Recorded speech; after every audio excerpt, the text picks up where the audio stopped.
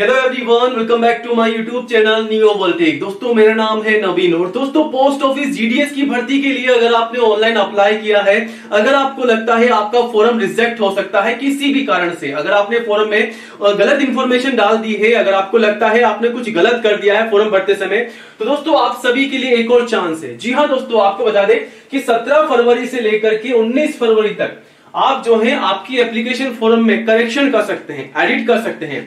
मतलब कि अगर आपने नाम गलत डाल दिया तो उसे आप अपडेट कर सकते हैं, सही कर सकते हैं, त्रुटि कर सकते हैं, जिसे हम कहते हैं त्रुटि, ठीक है? यानी कि करेक्शन आप कर सकते हैं। यहाँ पर जो है पोस्ट ऑफ़िस की ऑफिशियल वेबसाइट पर आप चेकआउट कर सकते हैं। यहाँ पर एक न्यूज़ जो है फ्लैश कर रही है। यहाँ पर साफ़ साफ़ बताया गया है कि अगर कैंडिडेट्स ने कोई भी गलती कर दी है तो वो अपनी एप्लीकेशन फॉर्म को जो है एडिट कर सकता है करेक्ट कर सकता है।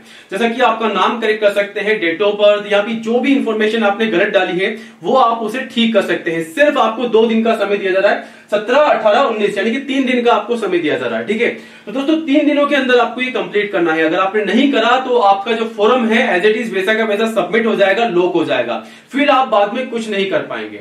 तो आपको यहाँ पर तीन दिन का समय मिल रहा है, जिसमें आपको करना क्या है, आपकी एप्लीकेशन फॉर्म को लॉग करना है। जिस आईडी से आपने अकाउंट बनाया है, ठीक है, उसको आपको लॉग करना है। लॉग करने के बाद में आपको करना क्या है, यहाँ पर सिंपली जो भी आपकी गलती है, जो भी आपको लगता है जैसा कि आपका नाम गलत हो गया, पिताजी का नाम गलत हो गया डेट ऑफ़ बर्थ गलत डाल दिया आपने, आपकी दसवीं की इंफॉर्मेशन गलत डाल दी आपने, जो भी इंफॉर्मेशन आपने डालनी थी सही, वो आपने गलत डाल दी तो दोस्तों आप यहाँ पर करेक्शन कर लीजिएगा। अदरवाइज़ आपका फॉर्म जो है हंड्रेड रिजेक्ट हो जाएगा, ठीक है? अगर आप रिजेक्शन से बचना चाहते हैं तो ये काम जल्दी से जल्दी कर लीजिएगा, ठीक है? 16 फरवरी इसकी लास्ट डेट थी ऑनलाइन फॉर्म भरने की और 17 से 19 फरवरी तक आप जो है करेक्शन कर सकते हैं। ये बहुत ही ज़रूरी अपडेट थी आप सभी कैंडिडेट्स के लिए जीडीएस जीडीएस की भर्ती वाले कैंडिडेट्स के लिए, ठीक है?